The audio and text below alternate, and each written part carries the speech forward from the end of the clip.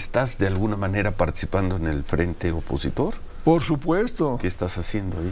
Bueno, trabajando en el Frente Cívico Nacional. Estás en el Frente Cívico. Impulsamos toda esta parte ciudadana, las convocamos a las marchas, esta no, sí, sí, Pero ahora, ya de cara a la elección del próximo Ya de cara a la elección, yo tengo una gran relación con Beatriz Paredes, con Santiago Krill, con, construimos acuerdos.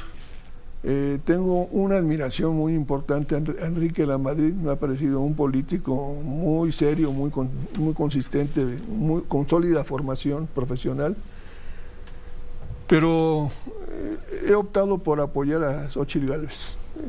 Eh, he decidido hacerlo, ahora estuve en Morelos, platiqué con ella y definitivamente vamos a trabajar porque es una opción que convence, una opción que refresca la vida política y ayuda a que podamos tener una alternativa competitiva y es una mujer de mucho valor. A mí, me gusta mucho. la ves así? ¿Aguantará, según tú, Xochitl? Pues yo la Toda esta artillería que está recibiendo. Pues por mí... No, me refiero a las palabras, ¿eh? Me refiero ya a las acciones legales, este, es probable que vayan contra sus empresas, pues que vayan a revisar las cuentas de su familia. ¿Aguanta Xochitl? ¿Le ves la correa? Yo le veo a una mujer que viene de, una situación difícil, adversa. La verdad se ha dicho, es cierto lo que ella dice de su vida. Todo el mundo lo, sabíamos. Yo cuando fue candidata en Hidalgo... 2010. ¿Estabas ahí? Sí, yo bueno, está, bueno estábamos cerca, estaba coordinando la campaña ahí si mal no recuerdo, Zambrano y Ortega era presidente del, del, PRD. Y la conocí una ocasión y me dio una, me dio una, me, me, generó una magnífica impresión por su por ser una mujer genuina, auténtica, inteligente sobre todo y de muy buen humor, siempre. A ver, tenemos que hacer una pausa y al regresar continuamos y concluimos esta conversación con Graco Ramírez. Son las 8 con 35. Gracias por sus comentarios. Atentos a la conferencia mañanera. Hoy empezó en tiempo del centro, una más tarde, porque el presidente está en Tepic. En fin, hacemos una pausa. 8.35 Continuamos. Antes de eso, ¿en qué va la mañanera en Tepic? ¿Están en Tepic? Están en Tepic, Ciro, buen, día. le, preguntan al presidente López Obrador, justamente por estar en Nayarit, sobre cómo van las investigaciones del homicidio de Luis Martín Sánchez, corresponsal de la jornada allá en Nayarit. Le preguntan, le pregunta justamente un reportero de la jornada y el presidente responde, se está haciendo la investigación, la fiscalía está investigando junto a las autoridades de Nayarit, se está avanzando para conocer lo que ha sucedido. No puedo dar más información porque se está en proceso, dice el presidente. Le preguntan también cómo van los avances en las reformas al mecanismo de protección a periodistas y el presidente dice se va avanzando, estamos trabajando para proteger a los periodistas como se ha venido haciendo y para proteger a toda la gente, dice el presidente. Vamos bien, se ha venido bajando la incidencia delictiva.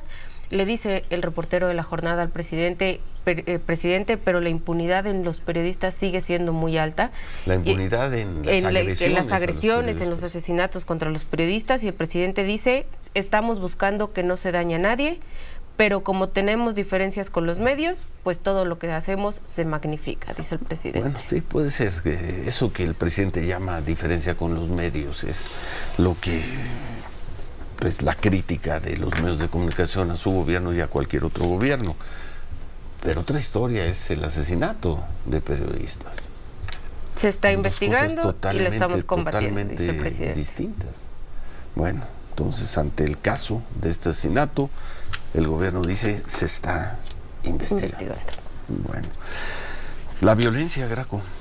Pues fíjate que hablando de periodistas, eh, tengo la satisfacción de que no hubo un solo periodista agredido en Morelos en mi sexenio, porque evitaba conscientemente cualquier observación a un periodista, porque generas un ambiente que justifica la violencia entonces contra ellos, contra los comunicadores. Te gusten o no, te molesten o no, no puedes generar por el peso que tienes, por ejemplo en este caso yo como gobernador en entidad, el de cuestionar a un periodista. Había periodistas muy ligados, yo sabía, a la delincuencia y que tenían una sistemática campaña contra, contra las políticas públicas en seguridad, etcétera, magnificaban la violencia, pero jamás cuestionábamos al periodista porque era justificar después, más adelante, que hasta adversarios utilizaran esa oportunidad para golpearnos con la liquidación, con eh, una agresión a un, a un comunicador. Entonces, fui muy puntual y muy estricto en que se respetó en verdad el ejercicio libre de la prensa y hoy día esa polémica te lleva, te lleva a ese ambiente, Ciro, a ese ambiente lamentablemente de que se justifique por alguien, cuando tú descalificas desde la tribuna más alta, pues la mañanera es la tribuna,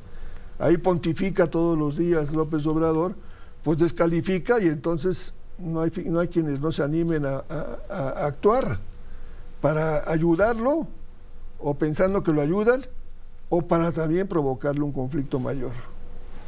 ¿Y Pero el ambiente lo genera él, definitivamente, el que está gobernando. ¿Y es un ambiente de qué? ¿Cómo lo calificarías? Pues de, de encono, de, de, encono, de, tensión innecesaria. ¿Qué, ¿cómo? Innecesario, ¿por qué mencionar por su nombre?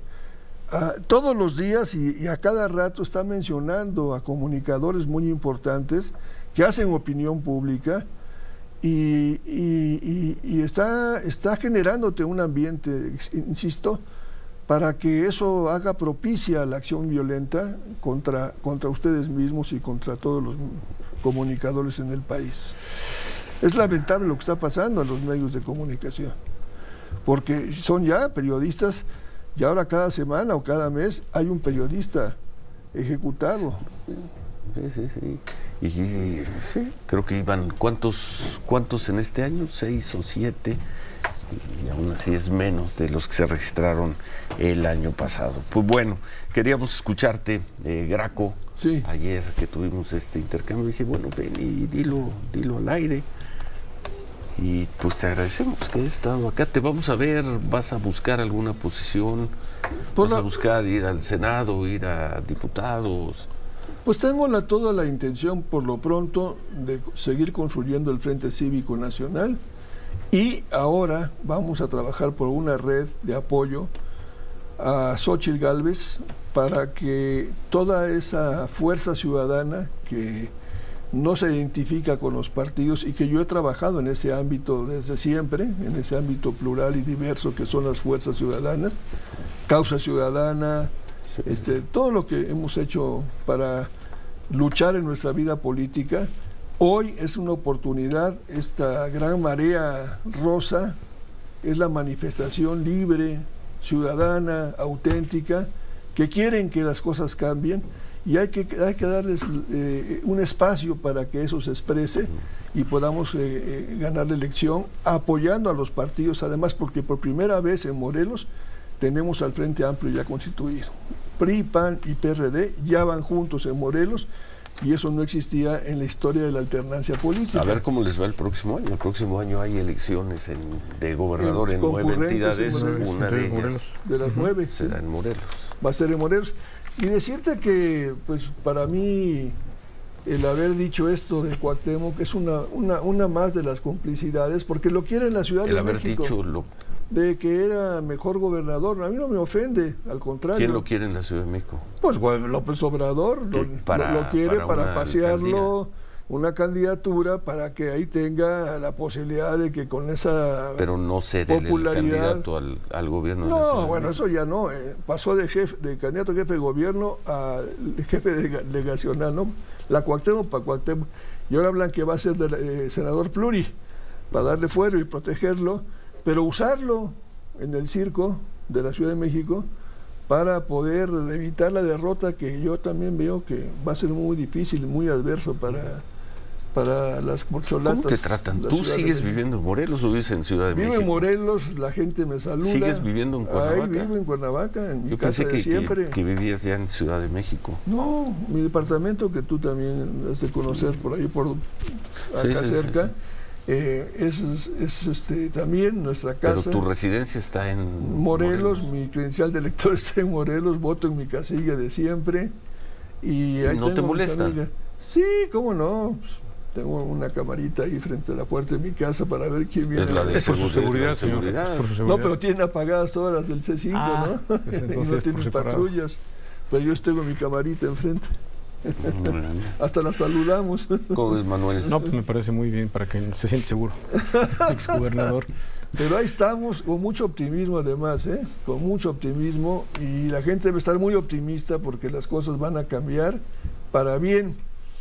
Y esto que hablabas tú del superpeso y todas estas, esas remesas que han, han, crecido casi 14%, pues decirte en verdad, decir que esto está afectando ya a la economía mexicana, sí. En las exportaciones ya y en sí. todo esto. Pero no hay que engañarnos. 16.71 en este momento. Son, son, espejismos también, porque si sí afectan. Espejismo de dos años, tres años, sí, cuatro años, el buen tipo de cambio. Hay que ver de dónde viene también ese dinero. Vamos con el tiempo a ver.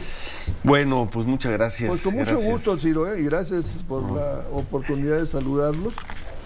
A ti y a Mario. Muchísimo mejor gobernador Cuauhtémoc Blanco que tú. Pues fíjate nada más, a ese nivel han llegado ya las cosas, pues imagínate.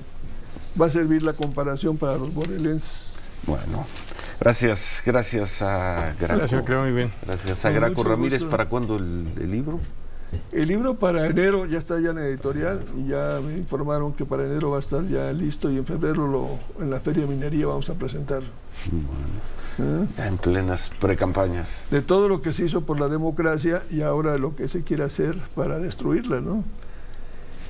Eso es lo que tenemos, en eso estamos, en un dilema de...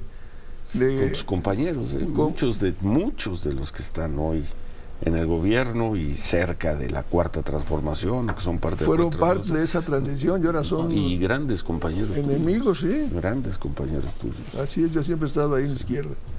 Yo no he brincado de partido en partido. Bueno, gracias Graco. A ti, Ciro, con su saludarlos y Mario igual. Gracias. Bueno, vámonos hasta Venustiano Carranza.